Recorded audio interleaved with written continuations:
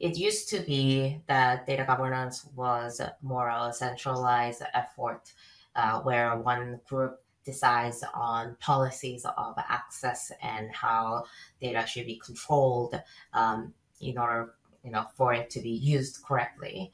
Uh, and i would say it also gotten more spotlight mainly because of uh, privacy regulations that have come out in uh, the past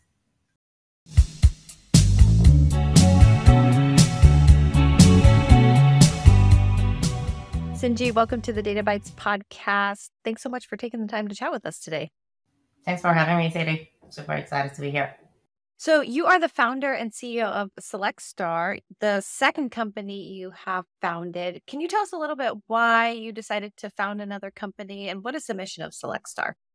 Uh, so, I have a computer science background, and prior to this, I ran a company called Concord Systems, uh, where we built a distributed stream processing framework.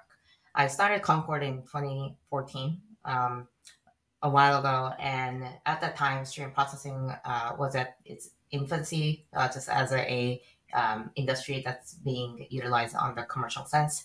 Uh, it's also the same uh, year that Confluent was uh, founded.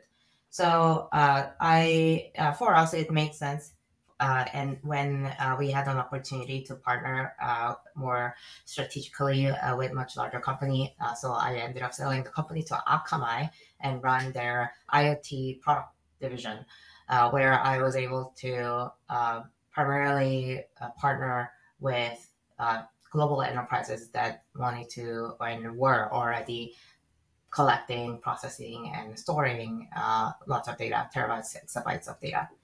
And uh, with that experience, I uh, firsthand noticed that uh, the there's really not much of a bound anymore regarding how much data we're collecting, and also variety of data that everyone is collecting. Uh, and it's really helpful to have that all in one place. But the end users of data, data scientists, data analysts, or business stakeholders, they um, kept running into issues because they didn't even know what data uh, they were able to access. Um, the organization overall did not have a good understanding of what are the good data that they can base their decisions on. So these are the areas that I saw an opportunity uh, where there needs to be a better data discovery, uh, being able to find and understand the data that you own and that you have access to and uh, the reason why I decided to start my second company, uh, SelectStar. So our mission of the company is to make data easy. Data, uh, you know, as a, just a data point or the file, uh, however you want to define it, is in order for you to truly utilize uh, your data, it has to be put into a context and uh, that is, uh, uh, I believe, what SelectStar really provides to a lot of our customers. So you mentioned that oftentimes data scientists, analysts, whoever working with the data don't even know what they have available. What is the cost of that? Or is this one of those things that's hard to quantify the cost because it's, it's unknown, right? Or, you know, when when organizations don't make their data discoverable for those who are using it, what are they missing out on? Yeah, I guess there is a cost of missed opportunities because you weren't able to predict it or um, catch it early on. Uh, the other side is the uh, cost that you may incur because your data team might be using the wrong data. Not in the sense of data like values are wrong. I'm talking about uh, that they were confused whether this was the right table or column to join on. And this is like a very easy, or I would say easier problem to fix if the knowledge about the data is um, well educated and understood by uh, the data team. And so I would say it's really the first step that you have to take in order to, uh, in order to yeah start leveraging the data, having that data context and uh, allowing that to be understood by everyone. So, whose role is it today in an organization when it comes to data discovery and creating a catalog? Well, most of the time it is up to the data team. Depending on the sizes of the company, uh, this can be a center of excellence or data platform or like a foundation engineering team that supports multiple data analysts or data analytics teams in different divisions. And um, but there is so much that these centralized teams can also do uh, because the actual end users have sometimes and many times actually have more context about the data sets that they use day to day. So in a way, it is a, a collaboration effort between the centralized teams and decentralized, uh, like actual end users uh, that needs to put together their uh, knowledge base uh, for everyone else as well. So, one of the issues that a lot of people have with data cataloging or data governance, just in general, is that it oftentimes is just always out of date, right? Businesses are changing, things are continually getting updated and changing. And so it's, it, you know, people stop using it because this information is out of date. One of the things I've noticed about Select Star is it's automated data discovery. So, how do you tackle some of those problems of people not using a data catalog or going to a catalog because it always is out of date and it should be the first place that people go. Yeah, one of the things that we pride our, ourselves on is this accuracy and being up to date about your data and metadata. The way that uh, we believe how data catalogs or any of these knowledge base to work is that it is the current state of how your data models or data uh, actually looks like. And in order to do that, uh, we uh, pretty much update the data catalog. We pull uh, pretty frequently, um, most of the time, uh, at least once a day or several times a day, uh, in order to update any changes that might have happened from the data warehouse or the data lake or the BI tools. Uh, the other part, which I feel like is a, usually more important or more used within the data catalog, is not just the list of information that the catalog has, but it's really the uh, computed context of that metadata. Uh, Gartner calls this activated metadata. Uh, and what that means is uh, for uh, you to be aware of which are the sources of this data. Who are actually utilizing this data, what are the dashboards that were created, uh, how does the lineage look like, um, what's the uh, current like quality or size of the data set, things like that that may change because of there are a lot of data pipeline changes or because it is um, there are uh, jobs that are continuously running underneath, I would say, uh, are the area that uh, needs to be continuously updated. Uh, so, what we uh, do uh, underneath also is to propagate any changes or documentation that might have been already written in the past so that it gets applied to any um, like subsequent uh, like newly created tables and columns before you having to manually document the tables and columns. Amazing. That's yes, makes a lot of sense. And then w- what about in terms of like machine learning models? Is this something that you also would catalog in a system like this, or is this really just for the raw data that would potentially go in to be used by these models?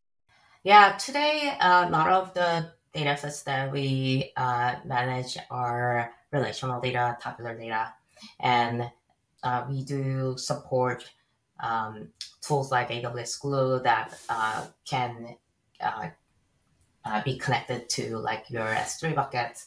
So on in terms of machine learning purposes, if you are uh, data directly from just the file system, you know that may not be all like catalog like feature catalogs. Uh, but a lot of the times, uh, our customers use it for uh, different dimensions or uh, what they would, you know, uh, manage features on, whether that's in their data warehouse or data lake. Uh, but primarily, I would say it's designed for BI tools, SQL like um, uh, queries that accesses the data. It seems like for organizations, if they don't have a tool like this or not thinking about cataloging their data, now is the time to start, right? Because the amount of data we're creating just from all of the sensors and systems, so many aspects of business are digital, let alone we haven't even got into generative AI, which is now creating way more data. If companies are, aren't looking at and managing their data today, to me, it looks like the future is kind of bleak for them, right? You're going to, it's going to be really hard to get ahead of the curve. So, like, what advice do you have for organizations and how to share that business and value proposition for being able to discover your data because i think a lot of people really struggle with like communicating the value proposition of this they're you know as a data team they'd love to have a tool or have automated data discovery but being able to get the budget and the buy-in sometimes is challenging for the business users to understand so what advice do you have for individuals in in that regard yeah, I think that's a really good question, Sadie. Um, because I think in the past, this might data catalogs might have been treated as oh like a productivity tool for the data scientist or data analyst. Excuse me, or um, more like a inventory software for the database uh, management teams. Uh, whereas today, with the vast amount of data applications that you can uh, utilize this on, or even like what you mentioned, Gen AI, uh, it's becoming a lot more important to have this kind of like a data mart or um, a way to summarize and catalog uh, uh, your whole like what is in your data warehouse so that it can be truly utilized by your uh, next generation applications. And uh, we are starting to see more use cases like this, uh, especially for Gen AI, because a lot of LLMs and uh, Gen AI models are uh, really great at understanding uh, just text. At the same time, the real valuable information for a lot of organizations are in a tabular format.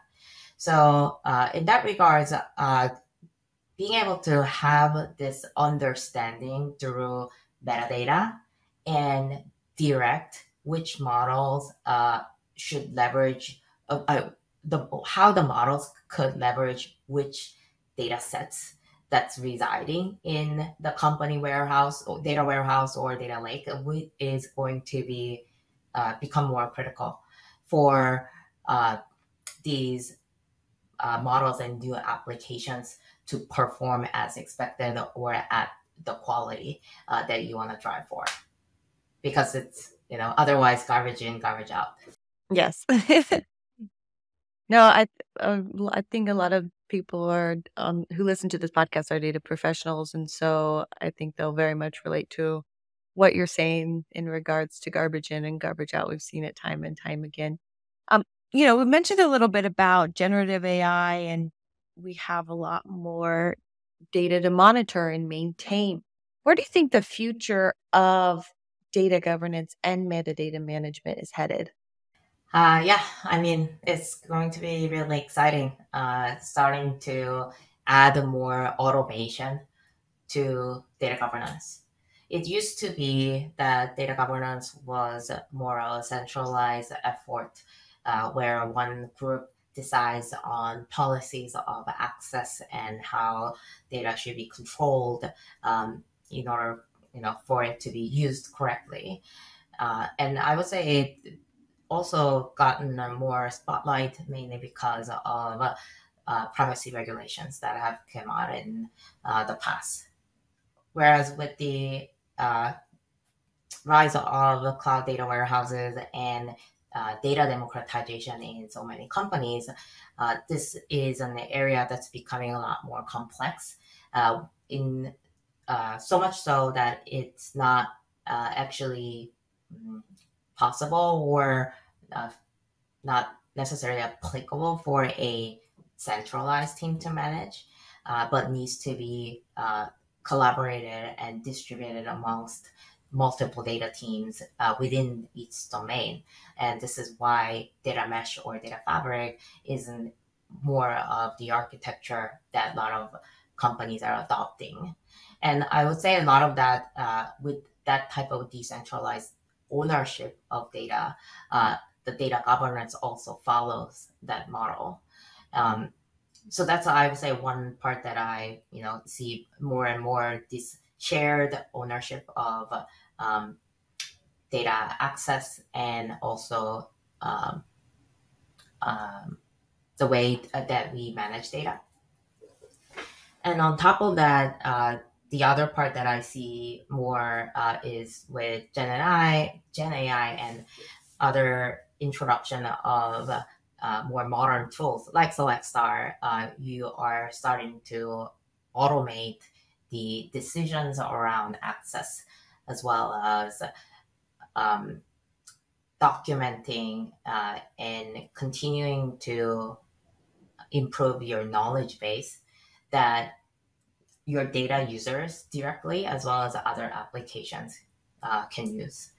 And this is a part that I'm quite excited about where you can now truly um, have workflows and uh, aspects that is not just bounded manually or by human approval.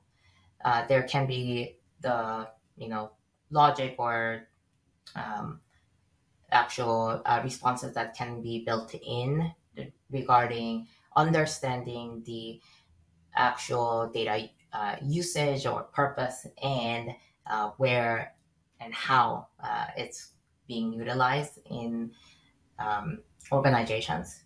So that automation piece and the more decentralization uh, piece is uh, where I would say data governance is really heading to. Yes, I am excited about the decentralization piece as well. Do you think we'll get, you mentioned about decentralized for different data teams. Do you think we'll get to a point where business users will also be at a point where they can govern and manage their own data as well? And do you think that's a part of the process of where things are headed? That there's this almost like as the tides rise, all ships rise, right? So, like, there's this level of data understanding, working with data that now that we have things like Chat GPT and LLMs that in, everyone is interested in and knows about, that it will make the business users more interested in managing their own data as well. Uh, like even business users within the organizations or like individuals. Yeah, so I think that really kind of comes down to uh, you know where the data is originating, and if they are the uh, main owners of data that have like um, generated or uh, you know collected the data, then that makes sense. But um, the one of the parts that I would say is also important around decentralization of data ownership is having a centralized layer of collaboration so there is a center of excellence or a foundation team that can um, work with different types of teams in order to institute the right frameworks and processes. And uh, I would say, uh, so it's in a way more of a hybrid model uh, that needs to be instituted. And if that there is a good, I guess, uh, type on that then I would say, uh, yes, I think eventually the individuals that may have created data sets uh, can uh, basically add it to the main governance. But a lot of the frameworks would have to be driven by the data team still. Yes, definitely. So, switching gears a little bit, I'd love to just go into your own personal story of founding a company and what has been your founder's journey? What did you always know as a kid that you wanted to be a founder and be a CEO and lead a company, or when was that aha moment for you? Um, not always. so I would say, um, well, so I studied at University of Waterloo in Canada, And Waterloo has a really good co-op program that got me uh, to work with with five different companies uh, during uh, my college years, and that really helped me to uh, basically think about and continue to kind of make my own iteration for finding what I really want to do. Um, it didn't necessarily end up in that uh, startup, but what I realized is that I was interested in uh, doing uh, or trying out at least different things because and the part that I uh, started more rocking towards uh, because I started as an engineer where I was very interested in figuring out how to build things. Uh, that has shifted towards more on what are we building and defining what to build, but uh, has more uh, evolved eventually to why are we building things and um, what and how does business decisions get made and i think you know that kind of like led me into uh, wanting to start something and um, had done when i first started concord that was a really the initial opportunity to uh, work on something new uh, because at the time my cto really wanted uh, me to help him productizing the technology and bringing it to the market. Uh, it's really after um, I sold the company and uh, worked with Akamai for a little bit and I took a break.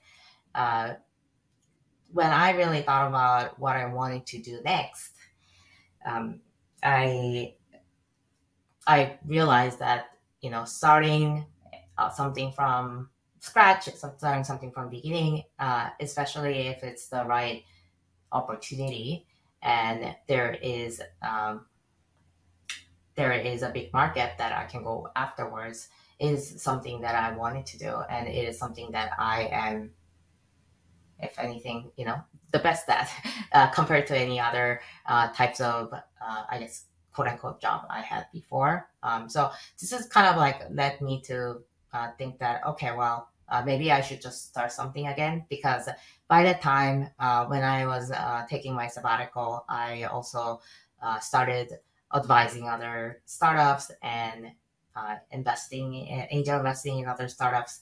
And I really liked being an operator, uh, being really hands-on and building things rather than just you know giving advice. So I, I would say that's also the reason why I'm back in the founder seat. That makes a lot of sense. I think I tell people some of the best ways to find out what you enjoy doing is find out what you don't enjoy, right? So you try different things and okay, I like being in the operator more role more than the advising role. I'm going to go back into that role. Um, what what do you hope the future for Selectstar looks like then? Now that you are in the operator in the driver's seat role, really.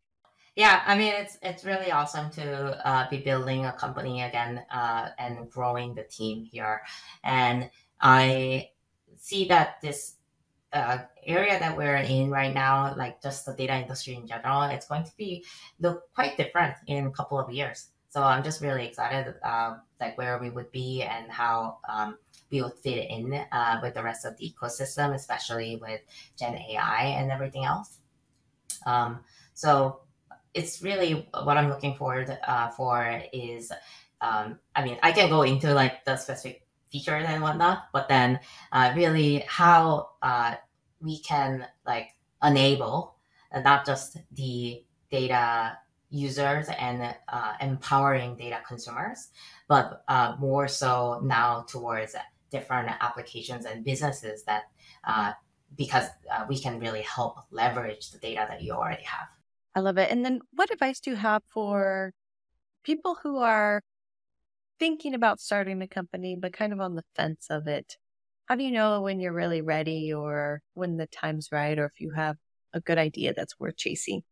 You have to, like, I would say, you know, anyone that, like, one advice that I would give to anyone that wants to start a company or has an idea is really just to go out and test your idea you have to talk to your potential customers. Uh, you have to see how the the your own product uh, or uh, yeah your service is going to look like how is it going to be uh, different from what exists in the market um, and like try to get as much feedback as possible from real users and uh, people that you know could uh, be buying uh, such product.